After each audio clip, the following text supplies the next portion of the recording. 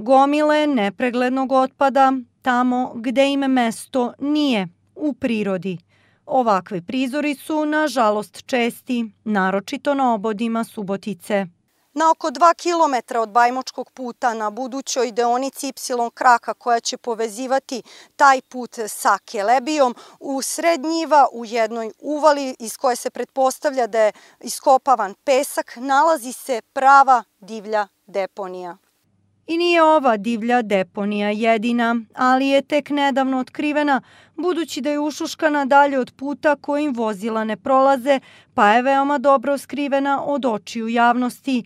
Grad svake godine finansira uklanjanje ovakvih ilegalnih odlagališta smeća, ali kako bi se konačno stavila tačka na jedan od najvećih ekoloških problema u Subotici, lokalna samouprava oformila je komisiju koju čine nadležne službe i javno-komunalno preduzeće Čistoće i Zelenilo.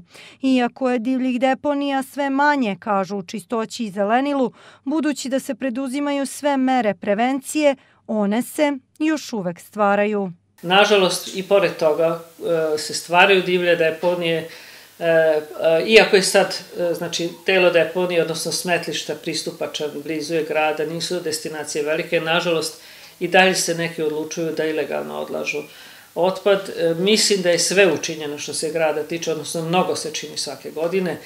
E, organizovano se radi na tome da se što više e, prigradskih mesnih zajednica uvodi postepeno u organizovani odvoz komunalnog otpada, a pored toga e, znamo da i na mestima gde nije još ovaj, taj proces pokrenut, putem žutih džakova se odnosi smeće, odnosno postavljeni su na određenim lokacijama ekokontejneri.